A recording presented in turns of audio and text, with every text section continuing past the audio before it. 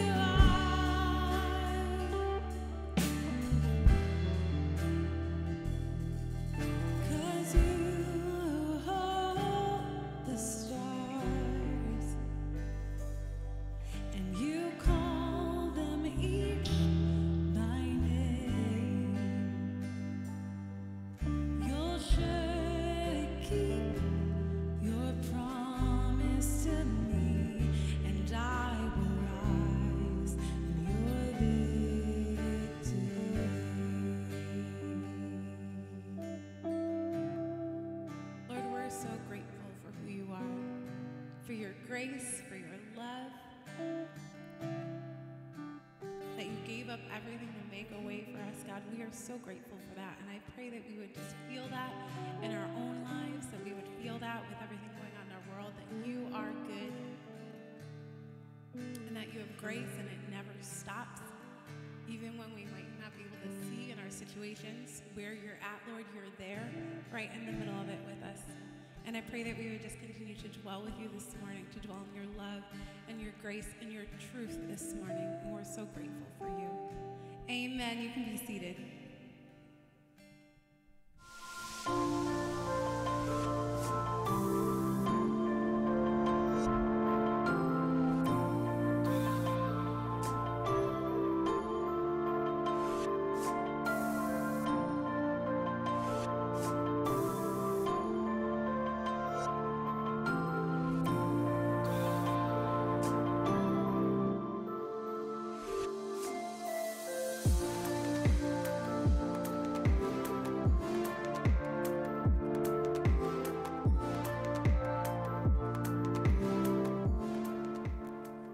Hey, good morning, everyone. Hey, for all of you that uh, went to the church pic- picnic on Wednesday, we had such a great time. And I just want to give a personal thank you to all of you who brought chocolate chip cookies. Thank you. I appreciate you. I love you. I had about 25 of them. The side dishes were great. We had a really, really good time. So thank you for that. We're um, continuing our series and what did Jesus have to say? And we're looking at just the hard sayings of Jesus and we're dissecting them. We're diving into them to see what Jesus had to say. And today's um, passage that we're going to be looking into is a really difficult passage that many times we misunderstand or misinterpret. And we're going to dive into that today. I want you to think for a moment if you played sports and think back if you had a really good coach.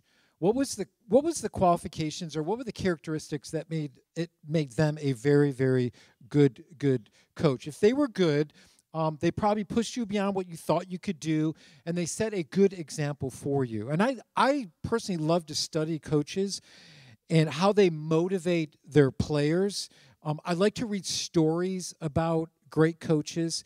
And uh, what I've seen about great coaches, there's one theme that I see, one characteristic that I really see in great coaches, and it's humility. I remember my son played a baseball in high school, and we were playing a city school. And for some reason, the boys on this team, they were just different. They the sportsmanship, I've never seen anything like it. I was watching the coach in the way he motivated his players. I remember Wesley got a double and he was on second base. And I noticed our second baseman um, hit Wesley on his rump with his with his glove, and they were laughing. And so after the game, I said to Wesley, I said, "You didn't? Did you know that second baseman?" He goes, "No." I go, "What were you guys talking about?" He goes, "He just told me I had a good hit." I'm like, "Really?" It was just and watching the coach motivate his players. So after the game, I went up to the coach and I said, "Hey, coach, can I just uh, tell you something? I'm my son plays for the other team, and I just want to let you know I've never seen a greater display of sportsmanship than I did today. And I want to tell you, you are must be doing a wonderful job with your uh, with your boys." And he said to me this. He said. You know what? He goes, a lot of these uh, young men come from very, very difficult circumstances. And he goes, the one thing that I want to teach them more than anything else is that your character is much more important than your baseball skills. That your character is much more important than your baseball skills. And he goes, I tried to teach them humility. And the, and the coach exemplified that in the way he coached these young men. Um, one of my favorite basketball coach, college basketball coach, coaches is the coach for the Virginia Cavaliers men's college team. His name is Tony Bennett and uh, he's known for being a very generous person. I read an article about him and his coaching style, and this is what was said about him. They said his coaching paradigm is really built on biblical values. He's a strong uh, follower of Jesus, and he said in this article that I read, he said Coach Bennett built his program on the biblical pillars of humility, passion, unity, servanthood, and thankfulness. And it's interesting that when Jesus tells us to come and follow him, he tells us that there has to be a characteristic in those that follow Jesus. And what we're going to look at today is what does Jesus require of those who are going to chase after him? It's so much more than just calling ourselves Christians or we come to church or we may read our Bible. Those things are important, but there's a characteristic that Jesus sees in every follower of him, and it's humility. And those that were listening to him one day, Jesus says, If you're going to follow me, this has to be the main characteristic of those who chase after me. And he, what he does is he tells those that are going to follow him that they must deny themselves. And it's interesting that if you're going to deny yourself, you have to be humble at the same time. Humility and denial go hand in hand. And there's something about when we follow Jesus that we have to relinquish our control and give that control to Jesus.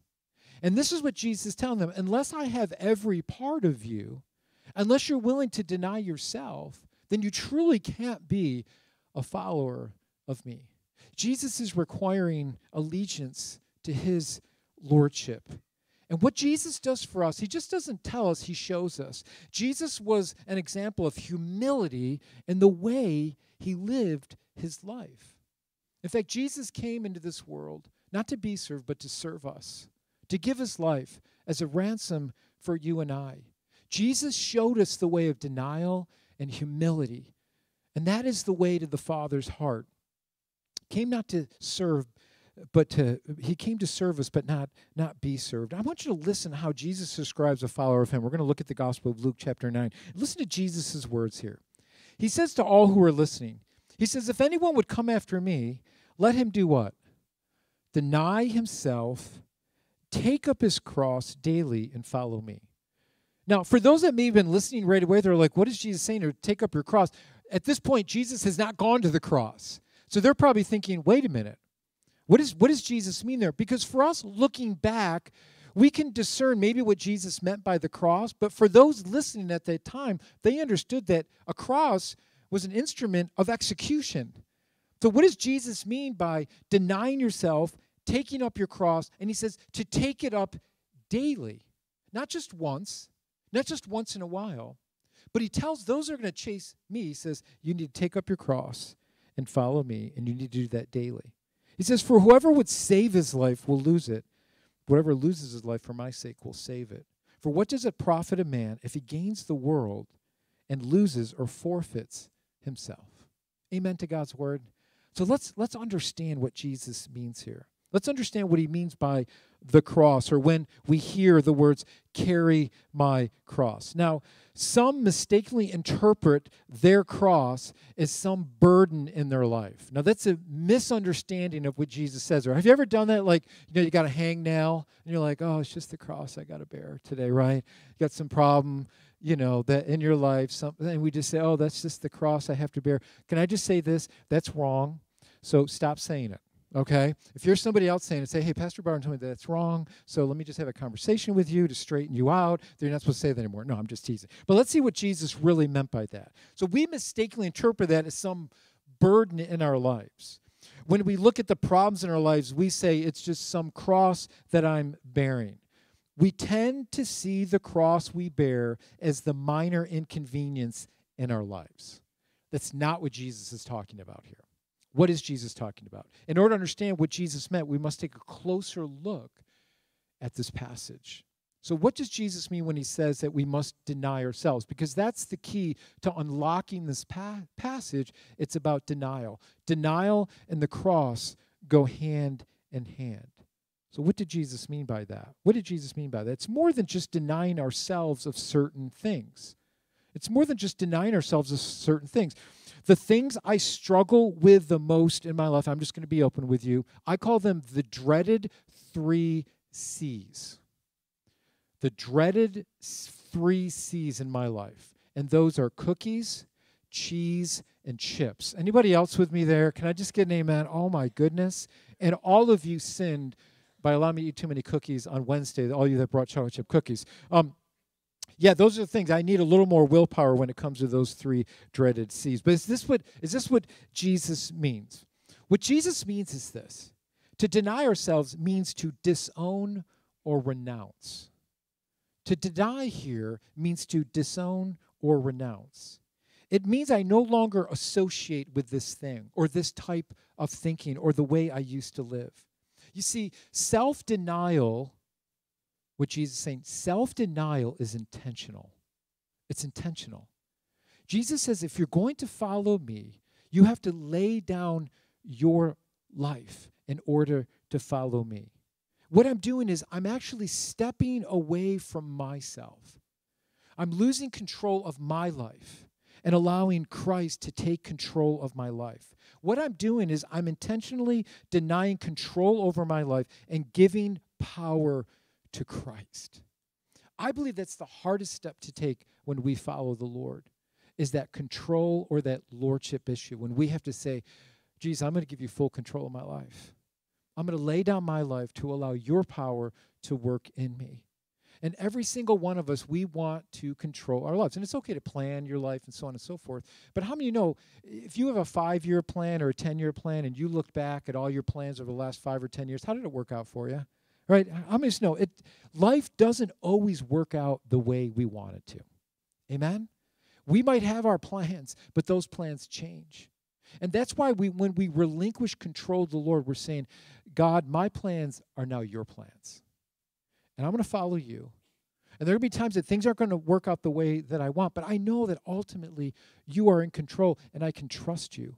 That's why Jesus says there has to be a daily dying to ourselves. That's why Jesus attaches these two words, denial and the cross, together. That's what we must understand. When Jesus says to take up your cross, it would be understood with a different mindset that we might see today. You see, we can look back with some clarity of what the cross meant. But for someone living in the first century, really the cross meant humiliation and death. So why would Jesus tell his followers to take up their cross and follow him? Because when you were hung on a cross, it was for all to see. And you actually carried your cross to your execution. And we see that in the life of Jesus until he was too weary to carry his own cross. So for this first century person, they would see the cross as execution. It was used for the worst of the worst criminals. It was only reserved for criminals. And they're like, so what did, what did Jesus mean by carry on my cross? The convicted criminal would be forced to carry their cross. It would be laid upon their back to carry their cross to their execution. And I got the cross behind me here because I want us to remind ourselves how powerful this cross is. Because when Jesus went to his execution, he willingly laid his life down at the will of his Father to face that execution for you and I. Jesus did nothing wrong, he was innocent. But for the sake of you and I, he humbled himself and allowed himself to be used by God for you and I as our substitute upon that tree 2,000 years ago. And so when you look at the cross, it's an example of humiliation and suffering. To carry your cross was utter humiliation for this reason it showed complete submission. It showed complete submission. I want you to think about it for a moment. Your last act before death involved carrying your own death instrument and it was a sign of complete dominance and submission. You see, here's the thing I want you to see you can either humble yourself willingly before God, or it can be thrusted upon you. How many of you like when humility is thrust upon you because of your own pride? That's not fun. But here's what Jesus says Jesus willingly humbles himself to face the cross for you and I to face that humiliation for you and I. The cross is all about denial, it's about submission. And that's what Jesus does for you and I. And so to bear our cross means to give complete authority to, to Christ. To carry my cross and deny myself means my allegiance have changed. It's a death to myself. It's a daily dying to myself. Here's the thing that we can easily forget as followers of Jesus. If I'm not daily carrying my cross and I'm not daily dying to myself, because how many know our dominance and wanting to c- control our life can easily creep up in our lives. When things don't go our way, we're like, "Hey God, I may, can I help you out a little bit here? Can you move this along a little faster?" Right? We we want to take control of those and for you people who like to really be in control, this is a hard thing, right? It's waiting. It's allowing God to be in this whole process saying, "I can trust you." But there has to be this daily dying to my desires and my wants and saying, God, you're in control of this. And I can trust you because you're a trustworthy God. I may not understand it, I may not like it, it may not be quick enough for me, but I can trust you. And, and please allow me to die to my desires and my wants because my selfishness wants to creep up. My heart wants to go back to my selfishness. And if we're not daily doing this, then it's easy for me to rely on myself and my own understanding. And this is what brings so much, can we just be honest? What brings so much stress in our lives and worry into our lives? It's the unknown. I don't know how this is going to work out. How's this going to work out? I don't know. How do you think it's going to work out? I don't know. What do we need to do? Right? We get so anxious. And that doesn't mean we're not concerned. That doesn't mean we don't think about things. That doesn't mean we don't research things. But what we need to do is relinquish those things to the Lord and say, God, ultimately, you're in control and I can trust you. Please allow me to die to my desires and what I want and allow me to live for you. And within that comes this peace and this joy, knowing that God is in control. The more we die to ourselves, the more we allow Christ to live in us. And the more Christ is living in us, the more joy and peace we have. Why don't I learn that?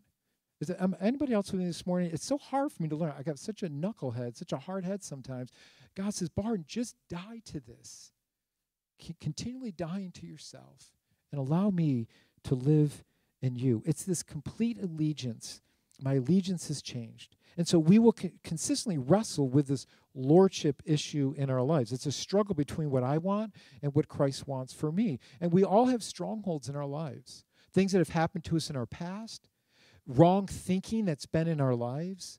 And those things have to be dismantled when we come to the Lordship of Jesus Christ. We have things in our lives that are, are difficult to give up.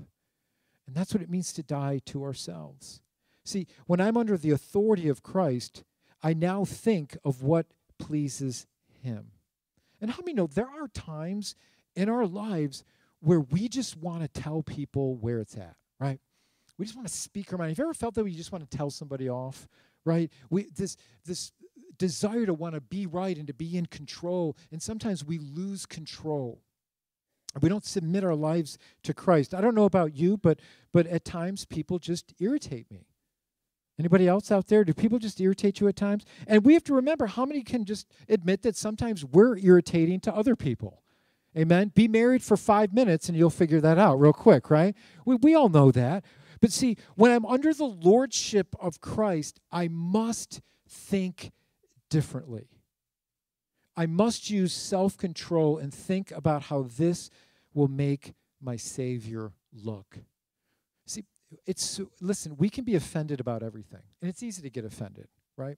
And I have to remind myself, someone always said this, and it just helps me so much that whenever you're offended, most likely there's something in you that needs to die. When you're offended, when you get offended easily, we always want to blame it on everybody else and they need to change. They do. That might be true. But think about your own heart for just a minute. If there's something in you that's easily offended, if you're always up in arms about thing, things, there's something in you that must die. This is why Jesus says, A follower of me takes up their cross, denies themselves daily, meaning they die to themselves daily. Jesus died on that cross for you and I, for our sins, so that we would not have that hanging over our heads any longer. There's a denial there. And so Jesus says, Give this control to me. I remember um, when I was playing soccer, when I was, I don't know, I was 10 or 11, 12 years old. And I remember my dad was, I'll never forget, it was like it was yesterday, but I always remember this it's pretty, looking back now, it's pretty funny. I'm glad my dad intervened. But I was at a soccer game and I was playing this game, and this kid had this really cheap shot at me. He pushed me in the back, pushed me down, and um, I got up and I wanted to just go after this jerk. I mean, this this kid. I want to go after this guy. And so my dad could tell. I mean, he knew that I was going to come up and go.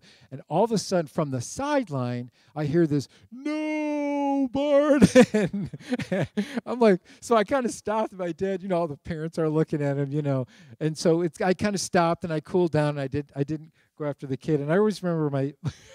after the game, my dad's like, Bart, I'm sorry I, I embarrassed you. I just didn't I didn't want you um, to to go after that that kid. And and I always always remember um, what my what my dad what my dad said to me. He said um, he taught me about self control. He said, Barton, don't let your anger ever control you. Don't let your anger control you. How many of us know that if we're not dying to ourselves daily, something else will control us? It will. And my dad said, You will always regret it if you allow that, if you allow anger in the wrong way to control you in bursts of rage. Don't allow that to happen. My dad was an excellent example for me in that in that way. You see, when Jesus is my Lord, what he says to us is, No, don't do that. Listen to me, and I will keep you. I know my heart. I know what my heart is capable of. And how many know our hearts are capable of doing very good things and very bad things? And the reason why denial and taking up our cross is so important and so imperative is Jesus knows our hearts and he knows how easily we can be led astray. And we need to constantly keep guard on our hearts. And so by me waking up every morning by saying, Jesus, this is the day that you have made. I'm going to rejoice and be glad in it. But but let me always look to you. Let me deny myself because something's going to happen that's going to do a check on my heart, my selfishness. Someone's going to irritate me. Help me to give this to you, and may you be in control of my heart. But let me share with you what self-denial is not. This is this is Jesus is not talking about this. Self-denial is not when I feel like it. It's not when I feel like it. it's not it's not something that I turn on and off. And I want to just ask you two really difficult questions. And and this will kind of help help you just just to take a look at your heart and whether or not we're truly dying to ourselves every day and following Jesus. Ask yourself these two difficult questions. Am I willing to follow Christ regardless of the of the cost? Like if something doesn't go my way or life doesn't work out, do I just give up and say, well, that the Christianity thing didn't work out? Am I following Christ regardless of of the cost? And secondly, am I willing to follow Christ no matter what happens in my life or the difficult situations that I might face? See, a daily denying of myself and picking up my cross and following Him guards our heart on those two questions. It guards us because we realize that this world is going to be difficult. We realize that suffering might come our way. But we do know that God will never leave us or forsake us. We do know that we can cast all our cares at Jesus' feet every single day because he cares for us. See, following Christ and denying myself is now my life. It can't be a part of my life. I now spend my life knowing him and allowing him to change my life continually. And we will all face things in our lives that just don't make sense. We will. But Christ is there and He understands and He faces all those things for us. So, how do we deal with the tension? How do we, how do we find the answers when life doesn't make sense? Do we try to seek out the answer through His Word? See, when we really understand the answers, we understand that when we look through the New Testament that all the disciples and the apostles went through difficult things. But they trusted God through all of them, and God gave them a joy. Do we seek to understand how God uses suffering in our lives? That He does. As much as I don't like it, He does. See, we're told to cast all our cares because He does care for us. And denial is not beating yourself up and saying that you're no good. You're no good, you're no good, you're no good. I always think of that when I say that. It's not beating yourself up and saying you're no good, you're no that, that that's not denial. It's not trying to replicate Jesus and his sufferings. Well, if I can be like Jesus and his sufferings, you know, then I can be more like him. That Jesus already suffered for us on the cross. But I want you to realize that God at times does allow suffering to come into our lives. And it's to draw us closer to Him, for us to trust Him more, that even through that, we know that Christ is with us. I remember um, there was a, a, trip we took. Uh, it was our, our first trip to Guatemala as a missions trip. And I remember the missionary telling us this really, it was an interesting story. And he says, what they do right before Easter, um, many people will, will carry a cross. They'll actually take a cross, they'll carry it on their back, and they'll walk for a mile on their knees through the streets of the town until they come to the church, which is in the center of town. And by the time they get to the church, their, their knees are all bloody. And by doing this, they feel like they can be closer to Christ because they're trying to replicate what Jesus did for us. Is that what Jesus is asking us to do? To deny ourselves and take up our cross? No, that's not what he's asking us to do. You see, we are not uh, repressing ourselves. We're, we're, we're going to Christ and we're giving everything to Him. We're submitting to Christ in every area of our lives. And that means at times we might suffer. We might go through some difficult things in our life, but Christ is with us. And what Jesus said to us is that when you actually lose your life and give it to me, we actually find it again. When we lose those things and we give it to Him, we actually find a joy. See, Jesus says you're never going to find it in this world. You won't. Because it's not in this world. Because what good is it if you gain the whole world yet forfeit your life? Forfeit your soul. What good is it? And how many know at the, at the end of our life, we're not, do we really care what our bowling average was? Right? I mean, does it really matter? I mean, does it really matter the biggest fish we caught? Well, that kind of does matter in a way. But no, I'm just, you know, when we look at the end of our life, those things really don't matter. That's what Jesus is trying to share with us. What good is if you gain everything, but you don't gain your soul? You lose it. And so, what what what I want to encourage you here this morning is, what things do you have to? What things have have a lock on your life? What things have taken dominance in your life? Jesus is telling us, listen. As a follower of me, Listen, deny yourself. Take up your cross. Submit to me daily. It's a daily dying to yourself and your wants and your desires. And that doesn't mean that God doesn't care about us or doesn't give us, you know, He doesn't bless our lives. Absolutely. Does He bless our lives? How many of you are blessed this morning? I know I am. He's He's He's a good God. Can we thank God for being just a good God? Amen. He is. It's a beautiful, beautiful Savior. But here's the thing my heart just gets in the way, and my selfishness gets in the way. Amen. And, and so God says, listen, when we come to Christ, we're saying, Jesus, I'm giving you everything, not a part of my life. Help me, help me to take up my cross and deny myself and follow you. Listen, I, as we close, I, I want to pray, and there's a couple of things I want to address as I, I pray with you today. We need to pray for our country.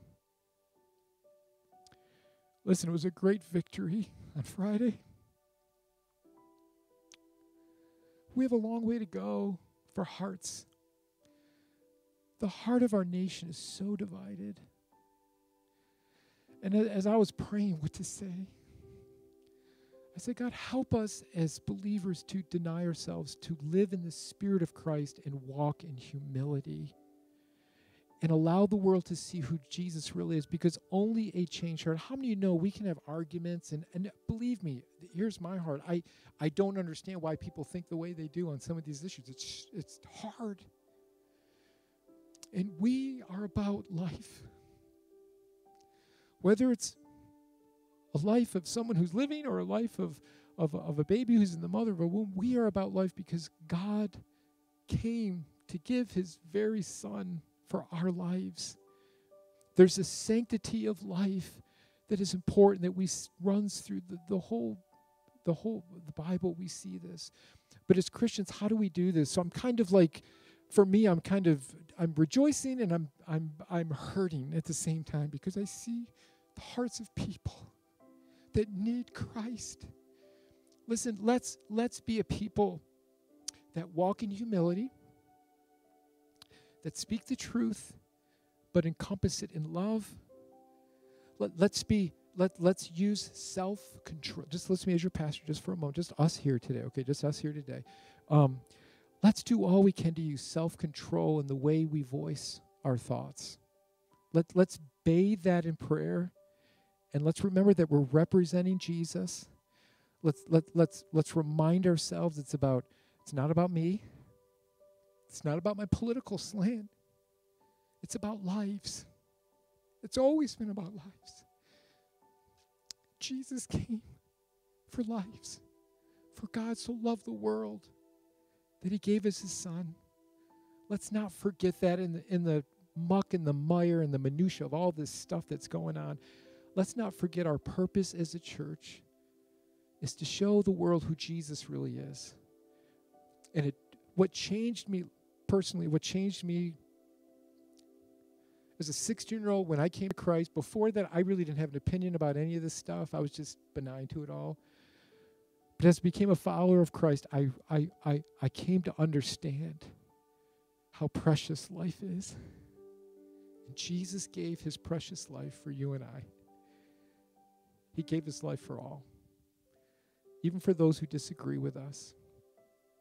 So when things are favorable, favorable for us or not favorable, may we stay firm on the gospel message that Jesus came to save people, to change their hearts, to show them who He really is and the way back to the Father.